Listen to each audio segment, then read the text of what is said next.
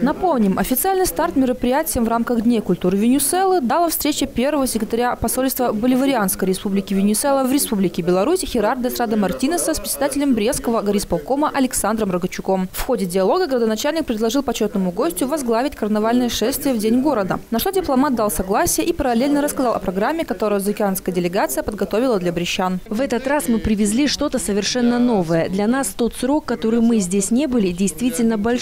Поэтому завтра в концерте вы увидите совершенно новую программу выступлений наших групп.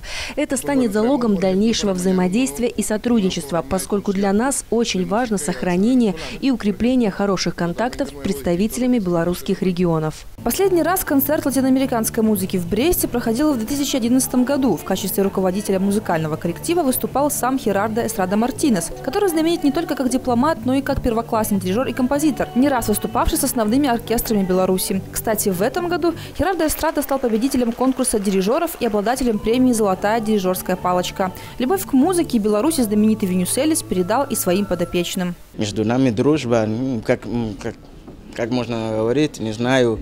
Э, просто очень, очень повезло, что мы венесуэльцы можем играть белорусскими композиторами, и для этого нас очень удовольствие и радуем, что можем дружить так. Для меня это как моя вторая страна, поэтому я всегда был с удовольствием с вами играть и с нашей всем миром. Просто нам, нам просто нравится доказать мира то, что мы любим, это музыка, как язык. Это один глобальный, но универсальный язык, это музыка как любовь и как математика. Кроме барабанщиков Хосе и Нельсона в коллективе народной музыки «Али Примера» есть и представительницы из Беларуси, в крови которых, по мнению венесуэльцев, течет горячая латиноамериканская кровь. Пять зажигательных музыкальных композиций, два фольклорных танца на целых полтора часа перенесли зрителей в знойную и чарующую атмосферу побережья Карибского моря.